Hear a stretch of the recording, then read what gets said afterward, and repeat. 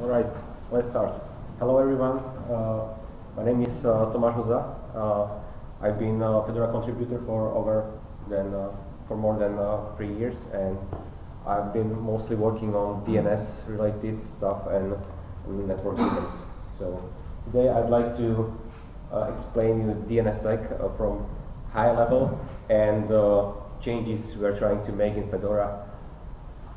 So let's start. Uh, during this presentation, I'll cover why DNSSEC important is important and why we should care.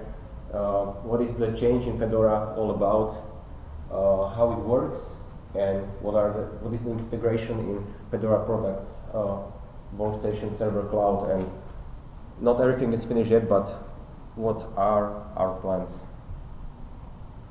So, why is DNSSEC important?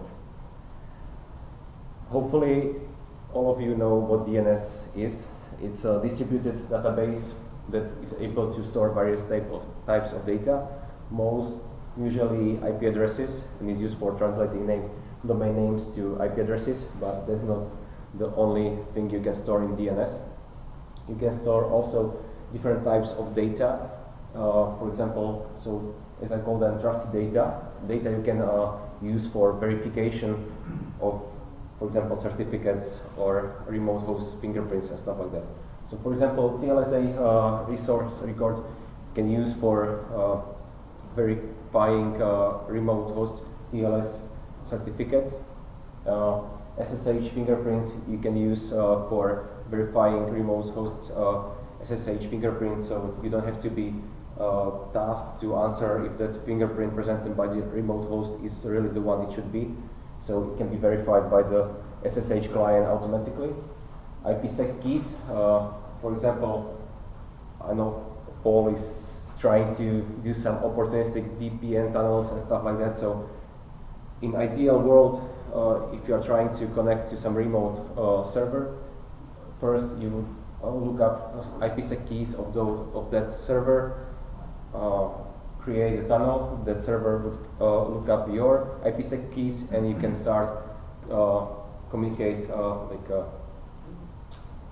over tunnels.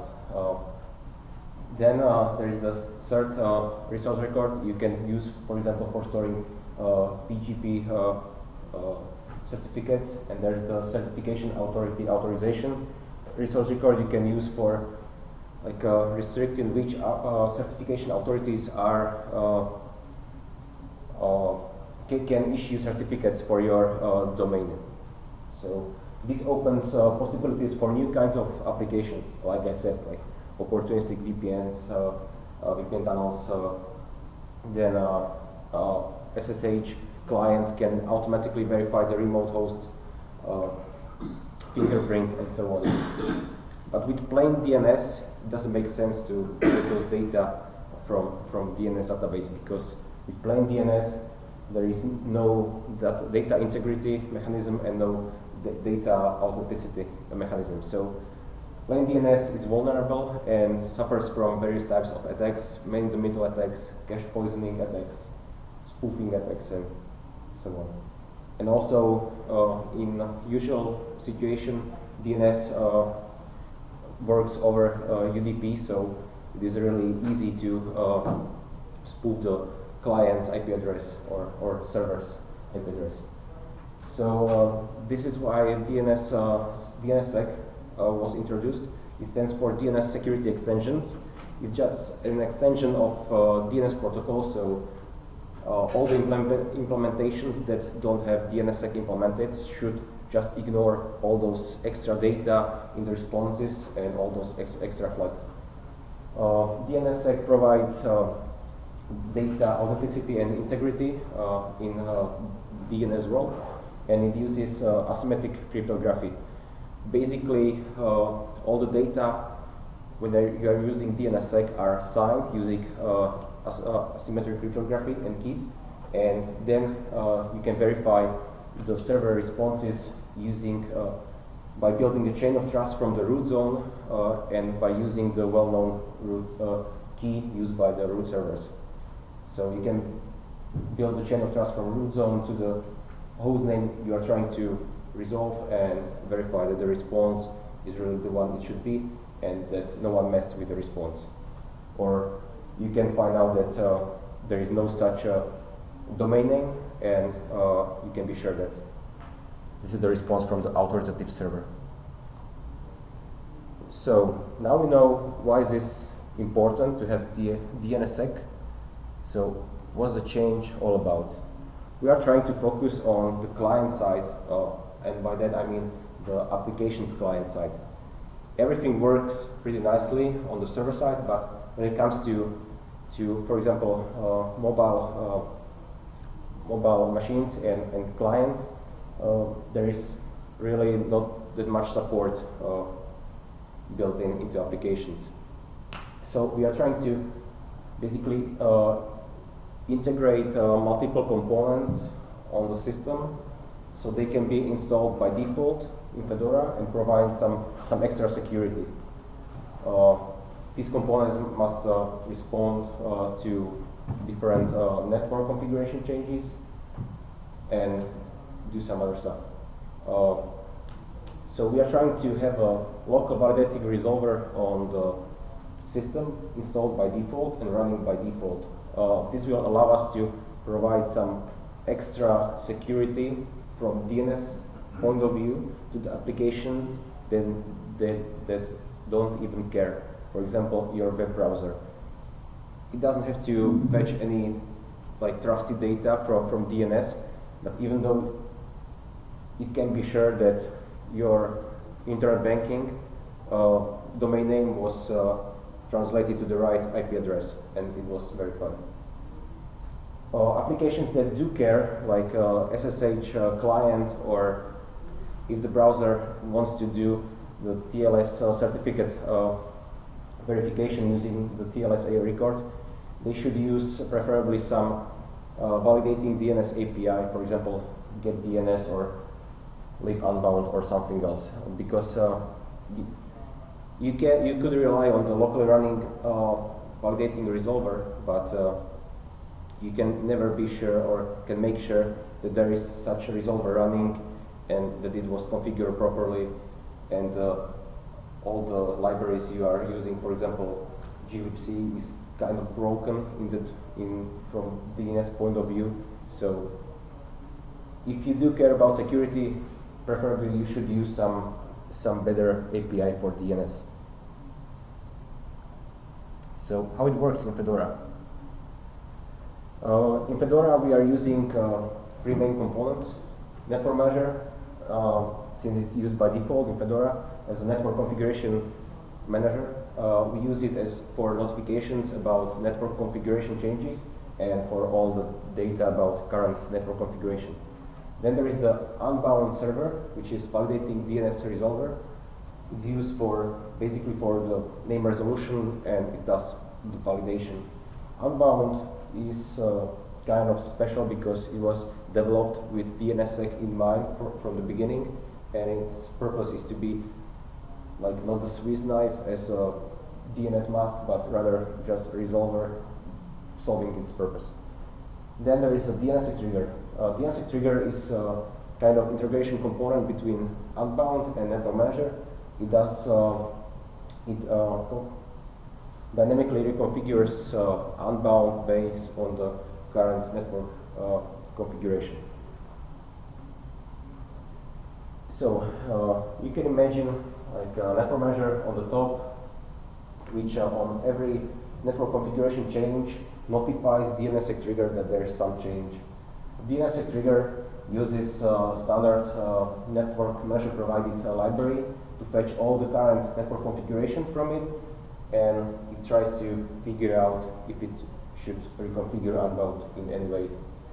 It uh, gathers, for example, default configuration, default connections, what are the DNS servers provided by the default connection, if there are any VPNs, what are the domains provided with those VPNs, name servers, and so on. DNS trigger then, when it gets all the data, it does some, uh, performs various tests. For example, to be for Unbound to be able to do the validation, it needs to be configured properly with proper set of uh, DNS servers. Those DNS servers have to be able to provide all the data necessary for the validation. So this is what DNS uh, trigger uh, tests for. Those network provided uh, DNS servers are capable of providing all the data that are necessary. If this is not the case, it can try, if it's possible, to uh, reach uh, authoritative servers on the internet. If that's not possible, it can try if it's if it can uh, contact uh, Fedora infrastructure, uh, because in Fedora, in Fedora infrastructure we have DNS resolvers running on Uh, TCP port 80 and also on uh, uh, port 443, and they are using SSL. So it tries to tunnel all the DNS communication to the Fedora infrastructure. If that's not possible, it should basically inform the user that something's really broken. Uh, then, when all those tests are performed, Unbound is reconfigured so it reflects the current network configuration.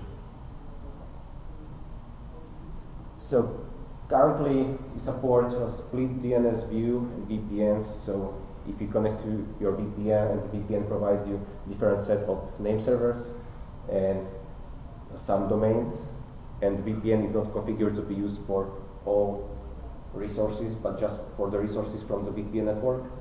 It configures uh, special forward zones in Unbound so VPN provided name servers are used only for VPN from the domain from the VPN. Then we are configuring uh, forward zones also for uh, for uh, private IP network ranges. So uh, you are able to do the reverse resolution of IP addresses. Then we have a couple of fallback mechanisms, like I said, uh, full recursion, and then DNS or TCP or SSL. Basically, you are you can set up your own infrastructure if you don't trust Fedora infrastructure, but uh, by default, there is we are using Fedora infrastructure for that. There is also upstream infrastructure, like uh, the ups from the upstream of DNS trigger.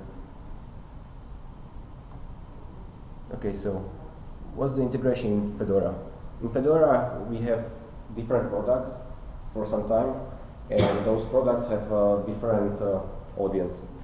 Uh, therefore, after some pretty pretty long discussions on Fedora list, uh, we figured out that we need to provide specific product-specific configurations because GNOME folks were not really happy about the, the changes and the user interface DNS trigger provided. Also, we figured out that there are a couple of integration points we need to solve, and that may be solved differently in different products. For example, captive portal detection, captive portal handling, login handling, and then the user interaction. So what are the common things?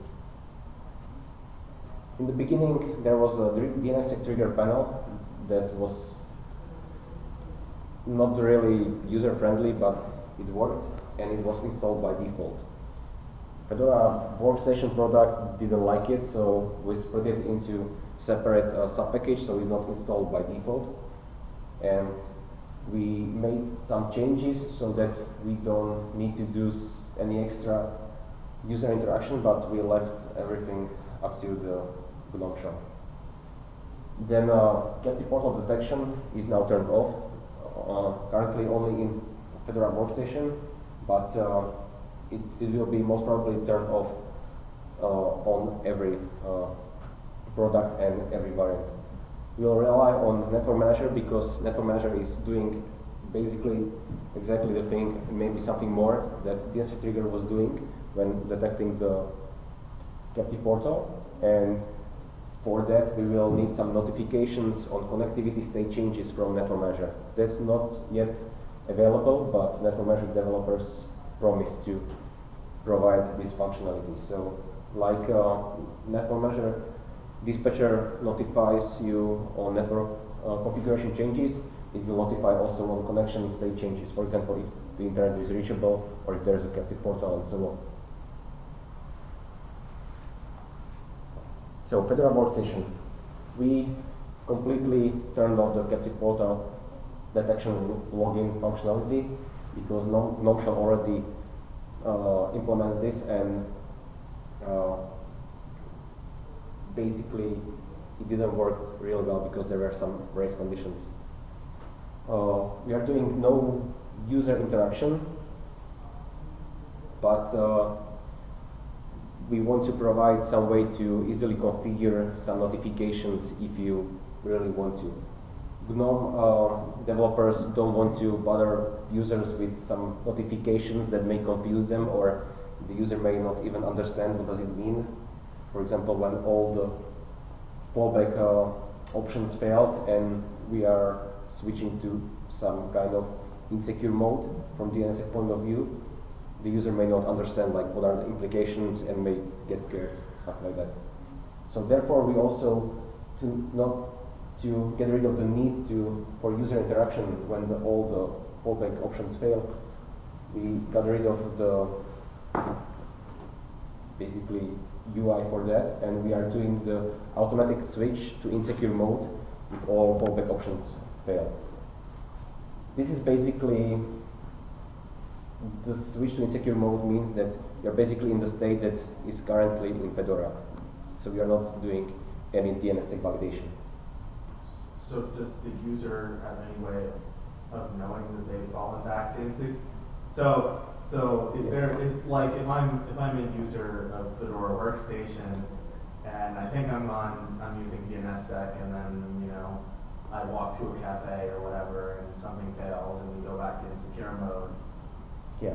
and I just, actually- using Actually, we, DNSSEC, but I'm actually, we as the change developers, we think that users should be informed. But GNOME developers have like different opinion about this. But by uh, introducing the possibility to automatically switch to insecure mode, because DNSSEC trigger didn't have that before, I I also added uh, option to run some command on switch to insecure mode. So it is easily possible and it would, will be like commented out in the configuration to send a notification window to GNOME shell so you can be notified like, yeah, now I switched to, to insecure mode. And the insecure mode uh, automatic switch can be like disabled so it will not happen at all. Yeah. And, and the applications will actually know because they're not getting the DNSSEC data anymore. So they'll actually know that something's wrong. If they care, they will know. Yeah. So uh, maybe we'll figure out some some good notification that is digestible for the user and also for GNOME developers. But right now we agreed not to do any notification, which is not really good from our point of view. But you know everything silently fails and you you are losing the security. Yeah, but it doesn't seem like a priority for workstation. So for cloud, uh, we basically just started the discussions. We think that uh, the trusted resolver makes sense at least on the host where you are running containers. Because uh, containers running on that host can reuse the locally running resolver and get extra security even though they don't care or are not aware of it. So for, uh, for sure it doesn't make sense to have a like local resolver on the images themselves because you don't want each container to run a separate resolver. The problem is that Docker currently is not able to use the locally running resolver. It works in a way that if, if your if the host resolve contains some IP address uh, different from a local host, uh, the Docker will copy the IP addresses to the containers resolve conf, but if there is local host address, it will put the, uh, Google's DNS servers IP addresses into containers resolve conf, which is basically the easiest way to solve this, and it works, but it's not the most clever thing to do. Does it do all local hosts, or like if you were to change one point seven zero zero one to one twenty seven zero zero two? I think it's like uh, 127 slash Okay. 8, so Yeah. anything from the subnet is basically ignored. We proposed like uh, some easy hack uh, using IP table rules uh, to forward or all the uh, like DNS queries to the local fr- from containers to the locally running resolver, but the upstream wants to solve it in a more proper way by implementing some DNS proxy, and they are not really sure when this will be available or how this will work. It's uh, the communication is kind of slow, and we are not sure like uh, how to solve it uh, in Fedora without the upstream really including the, the fix for now. So the commun- uh, commun- discussion is still ongoing. For the server, there is the question of configuration. In the server environment, you don't have that many like uh, network configuration changes, and most probably everything is statically uh, configured. So the DNS trigger part may not uh, make sense in server, but if you use it, you get like the value of not having to manually configure anything because it will automatically configure unbound, even though it will be just once when you boot up the server. And also there's the DNS trigger control uh, tool that substitutes the user interface in on in command line interface in command line, and that's usable for for getting data like what's the state, how is uh, what are the outcomes of the test performed by DNS trigger, and basically for switching to, to different uh, modes. Uh, this tool is uh, included by default on, on any product, but it makes more sense in environments where the command line tool is like the most most usual way of interacting with the system. So for other variants, uh, for example, as I said, GNOME provides some user interaction and uh, hotspot login functionality. But for other variants, some spins that don't provide this, uh, it will be necessary to install the DNS trigger panel subpackage for the user interaction. And as for the rest, it should be all the same as for other products. Uh, so to summarize, DNS trigger on client side opens new possibilities. Like I said, you can store some special data in DNS and write or enhance your client applications to use those data to, for example, validate uh, remote host uh, certificate or some fingerprint or to build some VPN tunnel to the host. Uh, the changes we are doing are mostly consisting of a tightly integrated set of components, network manager, unbound, and DNS trigger. We are providing different configuration for workstation, but we are open to like uh, suggestions. If there are other things that should be different, we can provide different uh, configuration also for other products or variants. Yeah, uh, I also for I basically I forgot to mention that by using DNSSEC, some some dirty hacks that were commonly used with plain DNS will stop working. For example, if you used uh, in the past, if you used just Network Manager and you connected to VPN, Network Manager put the VPN DNS servers uh, on the first place in the resolve conf. So e even though the VPN was configured to be used only for the resources from that VPN network, uh, those VPN provided DNS servers were used for all DNS queries. So this was privacy leaking basically, but it worked. So if you didn't list all your domains uh, when you uh, connected to the VPN, it worked in that way, but now it will stop working because if you don't uh, list specifically uh, all domains from the VPN, those uh, queries not from the listed, from domains that are not listed, uh, will not be forwarded to the VPN. Also, also some like uh, if you connect uh, to some Wi-Fi on on airport and they are using their uh, like own top-level domain that doesn't exist, it will usually it will not work because they are basically making up their own records that don't exist. So you, you can get like uh, cryptographic proof of non-existence of that top-level domain, but they are still still claiming that there is such a domain. So if you are using DNSSEC, this is basically an attack. So you will not trust their answer. I like that. That's a, that's a good thing. Yeah, so that's a good thing, but uh, you know, a lot of users are used to uh, things working, and by introducing new countermeasures for security, you are breaking those things that was were basically misconfigurations or misinterpret- misinterpretations of Hacks. yeah Yes. of RFCs or But now for hundred and eighty thousand dollars, you too can have your own top level domain. Right, so why not to buy them? So I would like to ask you to test the DNSSEC trigger if you didn't uh, yet in Fedora and provide us some some uh, use cases for which it doesn't work for you.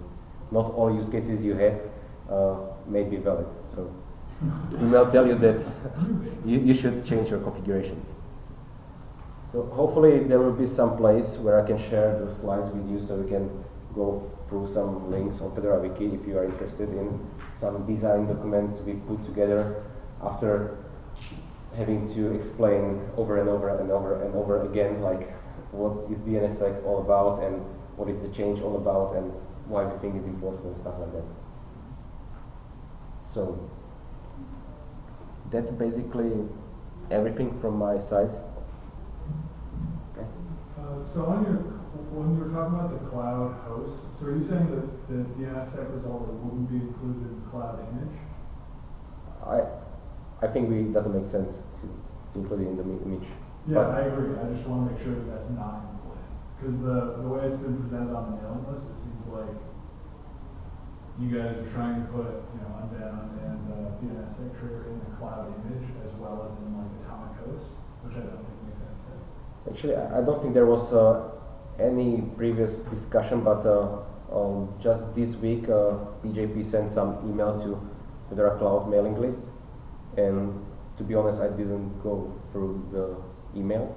But uh, if he claimed that we should include it everywhere, that's not the true. That's not true. No, the, because- what I understood was that on all containers, it would not be included because then if you run a thousand containers on one host, you're running a thousand times these daemons, which is completely unnecessary. Yeah, that's, that's, that's what I thought about the cloud image especially, because you're paying Yeah, that's the, yeah, that's the idea. There- There is of course some trigger, triggering between, i- you have to then start to trust the host you're running on for DNS using the, the local host hack. Because, because you're outsourcing the trust of your DNS from within your container, so in theory, you're vulnerable to the host compromise. I mean, but in you're theory, you're outsourcing- outsourcing your containers, so- computation, you're already outsourcing your computation, storage, network, Right. Right, so like they can just do anything they want with you in your little container. right. But hav- having the lo- local validating resolver on the host, I think it makes sense to have, have it there. So we Yeah, need, on a container can you define? Yeah, define, exactly. can you define cloud image? Cause, Yeah, 'cause, Yeah. uh, I'm thinking of cloud-based image, which is just like a disk image that you boot, and then like you mentioned a thousand different versions of it running, which makes me think you're talking about a Docker image. Right. So which, Yeah. what are we talking about? so I'm talking about the cloud image that gets turned into the AMI. Okay, the, okay. Uh, Rackspace. But there would be a thousand different versions running if you include it in that? Is Yeah, that- because, well, in a, in like a normal cloud deployment, you run anywhere between, you know, hundred and ten servers. And it doesn't necessarily make sense because a lot of cloud providers provide like network isolation, you get control over, Mhm. you can, okay. uh, you get control over DHCP, so you can run your own. So with, with each VM instance you're talking about, it would run, not Yeah. necessarily if containers were running on top of the VM I, well, I think that Okay. for the cloud image, if you're already spinning up your image in like an AWS or a Rackspace, it Mhm. doesn't make sense to include the trusted resolver there, because if you want a trusted resolver, there's a more efficient way of doing that external to the image hmm by dealing with like the network config around it. Okay. In like your VPC or your Rackspace that like private dedicated cloud. Mhm. OpenStack is looking at providing DNS as a service as one of the components. Yeah, exactly. Gotcha. Uh, designate? Yeah. Yeah. And so I just think that including the cloud image doesn't make a lot of sense because then you've got a bunch of these DNS uh, instances running inside of an environment you already control the DNS for if you want. And it's just wasteful on And it's resources. just, Yeah. and you're paying for CPU. Like, you don't, you don't wanna run a thousand unknown beans on one piece of hardware. Yeah, and so I don't think it makes sense for cloud image, but for like Fedora server or, Well, you, you mentioned atomic host. Yeah. You say it does make sense there, or it doesn't? Well, Because I like we currently do atomic host for bare metal and atomic host for cloud, and right now they're mm-hmm. kind of the same bits almost. So But, but like for Atomic Host, like it kind of, if, if you're gonna be spinning up containers, you're probably not gonna be spinning, like if you're just doing a pure VM environment, then you might be spinning up, you know, a thousand VMs, because each one of your microservices is in its own VM, or something like that. But if you're spinning up containers on top of the VM, you're probably, each of your VMs is gonna be a bigger VM. Like, you know, you're, you're, you're almost using the, the container host is becoming like. It's, it's becoming your infrastructure as a service. Yeah. And so you Mhm. run fewer really beefy atomic hosts, even if you were running them in the cloud. mhm. And so I feel like it would be less wa- less wasteful for running them down there. okay. Um, just because for the number of tenants you're serving, like the point of containers is you can serve way more tenants on the same hardware Mhm. without the overhead of doing VMs. Yeah. And so I feel like for the cloud image, if you're just using the cloud image and not hosting containers, you're going to be running a lot of them because that's probably how you're separating things. Mhm. Okay. Whereas with the atomic host, like you're sharing it between a lot more instances of whatever. Gotcha. That's I irritating this. Yeah. People. So it seems like it makes sense for atomic host on bare metal, but it doesn't make Well, sense well, no. much sense for He's saying he's saying it depends on where you divide the services, Right. right? Because if you're doing it with just with a traditional cloud image, then you're probably going to spin up a ton of those cloud images to do their own things. yeah. But if you do it on Atomic Host, even if Atomic Host is hosted in the same cloud situation, you're probably breaking up a bunch of different containers on top of that Atomic Host.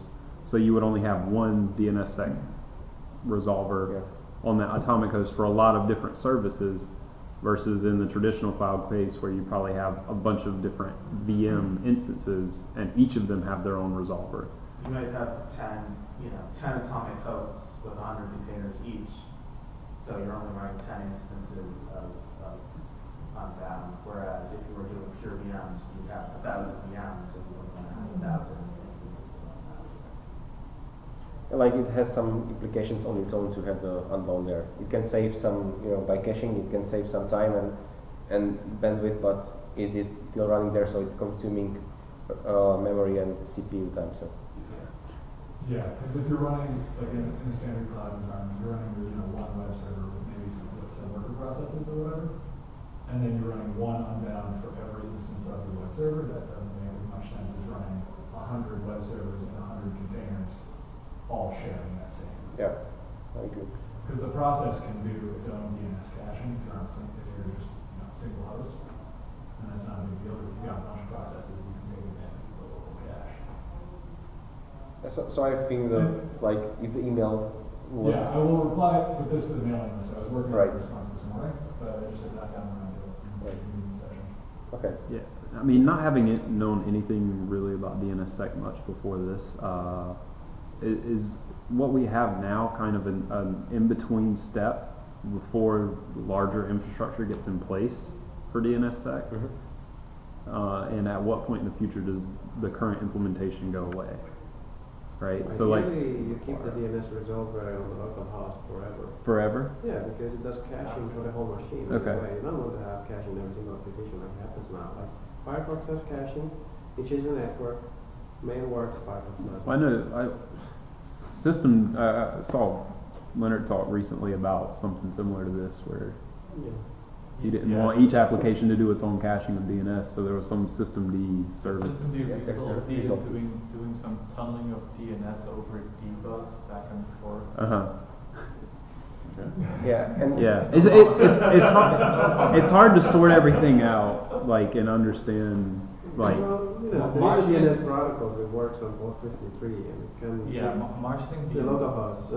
marshalling DNS into any other format seems to be the, it's a Yeah. well understood format, just running over port fifty-three. mhm. and um, Resolve D doesn't support uh, DNSSEC yet, and from Lennart's talks and from what I discussed with them or asked them, uh, they are trying to, to do or they are planning some kind of best effort DNSSEC. So we are trying to do all those fallback Mhm. options like uh, trying to do the full recursion or tunnel DNS over TCP, but they, their plan is not to do any of those fallbacks. So if the network provided DNS servers don't support DNSSEC, they will just turn it off and Yay, that, that works. so. So we- Unbound, Unbound is only listening on loopback? Uh, yes, Okay, because I have a name set up that actually listens on all interfaces, so yeah. that's going to, be an issue. Actually, it works pretty nicely also with with uh, uh, Virt Manager and Yeah. I'm like running three instances of dnsmasq for uh, for uh, VMs, and Yeah. then then I have like unbound running, and Yeah, Just you have an Unbound on, on the loopback, having named to listen on to the port that it's serving, serving up for with you, so you have to get the integration right. yeah. But out of the box names, uh, uh, config file. Yeah, it should work out well. Well, it needs to be, uh, you need to exclude the whole, because it's listening on all interfaces. No, I I think the And then- more specific bind will Yeah. win. Exactly. So unbound will Yeah. take localhost and mean will take anything that's not. That's the whole, Yeah. okay, good. Yeah, but for, for example, bind in default configuration in Fedora, it's also listening on localhost, so it would conflict. Well, that, that's because it's still listening to interfaces that are up. It will actually listen on the, any, any interface that's up. Actually, Actually, bind, actually bind policy, right? we we ship like uh, default configuration with bind. yeah, it's Fedora policy that you're not allowed to, per default, listen on public IP. So if you install a daemon that listens, it has to be on your local. Right. Unless you manually reconfigure. And we don't want, you know, to No, I'm just thinking the, de- the default config file, if somebody would just enable and turn it on, it would, it would- Yeah, just Well, yeah, localhost. if you install two DNS servers. well, yeah, I mean, Like, like, equipment, of course it's gonna fail. one's, one's up factory installed, and the other one's optional, and the Yeah. person installing needs to be aware of that's already there. Yes, I- that's I'm true. trying to prevent users from shooting themselves in the foot off this. Right, Of yeah. course, they want, to- they want. Nobody's to gonna read unbound, the not just the instructions. bind. Let's hope DNS administrators know enough about DNS. You know it, I know, nobody's, nobody's gonna miss the upgrade. We don't want to have like more open resolvers on the internet and you know to help with uh, denial of service attacks and stuff like They'll, that. they'll be asked ask, ask Fedora post and, and someone will be like, this is what's going on. And then they'll just be uploaded to the top and it'll just be stuck there forever.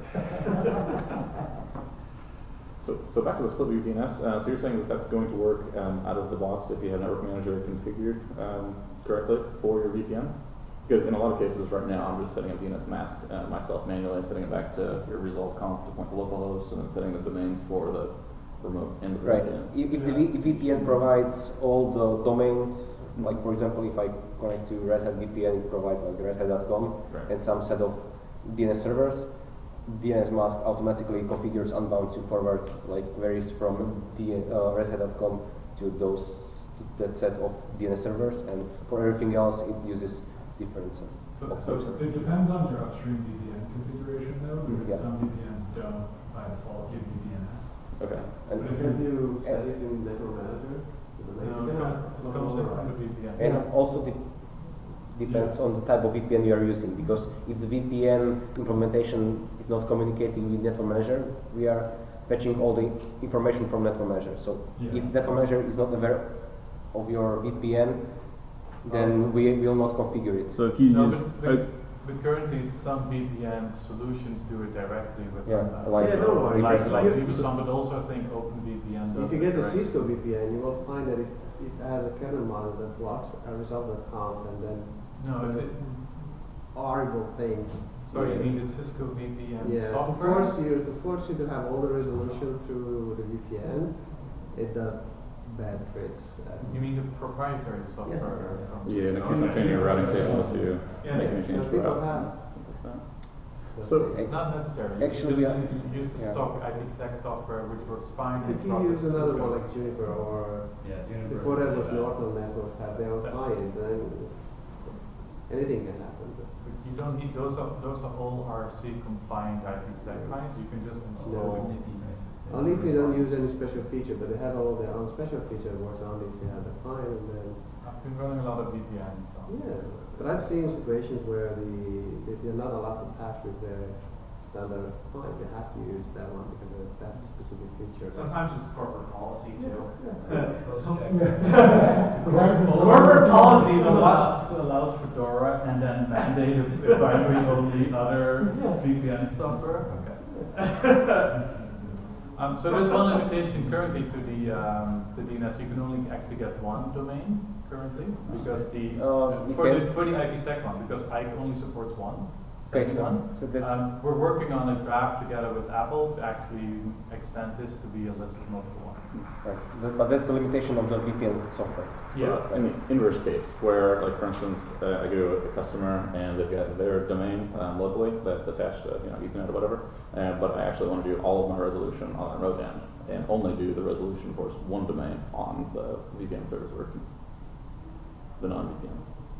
So you want the local resolver to only on one domain and everything else go through the VPN? Yeah. Uh, Oh, but if you, if you configure your VPN to be used for all, for everything, Okay, like dump or something for the, no, no I, I mean like in network manager, uh, when I conf- I'm configuring VPN, I can like uh, check the box to use the VPN only for resources from that network. So if I don't check the box, um, network manager will prefer that VPN over any other connection. So it will be the default connection from our point of view, and we are not distinguishing uh, like between if it's VPN or just wired network. So But then you we will don't configure. right. How do you resolve the local name? Right. Yeah. You need to treat the local connection as a VPN as well, so if there are domains connected to the local connection. then you Because they do call all it kinds of weird stuff, but, The local V- VDNS is that domain, so you have the domain thing in the. Yeah. domain. Actually, we are If your VPN configuring. takes over the default route, then you're basically isolating your laptop from your local network and you're only connecting to the VPN. That's, that's what it means when you say Exactly, the local VPN line, for zero the local line is still connected to the local line, it doesn't take over the local line anymore. So, No, it does actually. If you do Uh, zero by zero, it takes over everything. That's the problem. So, so currently we are configuring forward zones for any uh, like uh, domains provided by the wired connection. So, Okay. so it would be configured. But if there's like conflict in domains, so the VPN provided the same domain that the wired connection is providing, the VPN would be preferred. Okay. Yeah, it would only be for probably their somewhat fake um, TLD that they create for all their local resources. Actually, we, we have some like uh, own own solution to, for the situation where you connect to to wired network, Mhm. but the network provided DNS servers are not able to provide you all the DNSSEC data. So you, in the end, you you would not use them, but uh, there may be like uh, they may have different internal view of some zone, Mhm. but so for the internal domains, you, you want to use them anyway. So uh, we have like a module for unbound. That can be configured with different set of name servers. So if the response from the internet was insecure, basically meaning that the domain is not signed because we don't want to downgrade the security, uh, the module would ask the different set like local DNS servers for, for the answer. So like what you could do for NXDOMAIN if it's a local on their zone. or if the Yeah, you try the internet if like you get signed answer, you trust the signed answer. If you get unsigned answer, you will try also to ask also those like local servers because they cannot tell you or provide you any signed answer for sure. So if you would ask them like for every answer, you would downgrade the security basically. Okay.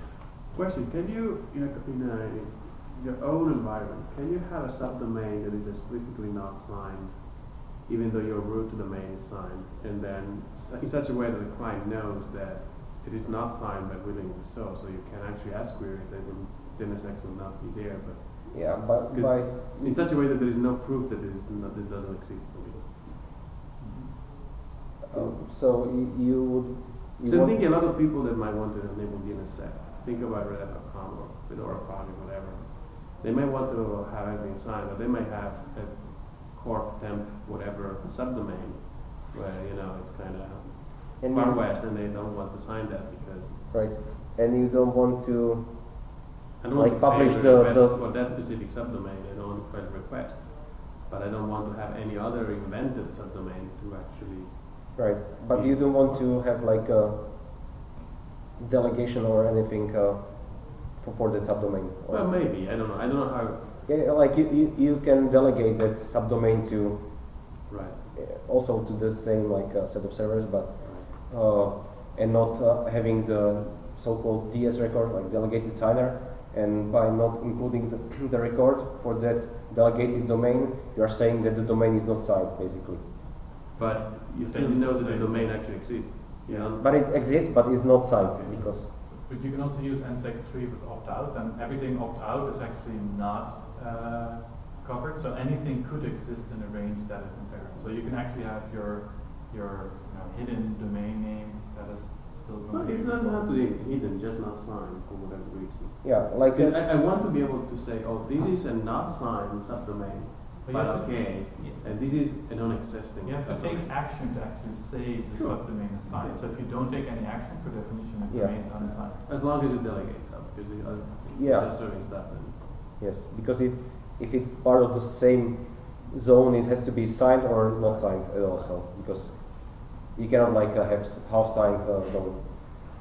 I'm That's- thinking it, yeah. it would be common to find things like that because Yeah, like how you know, outside lab zone- X Y Z does bullshit things and you know. Yeah.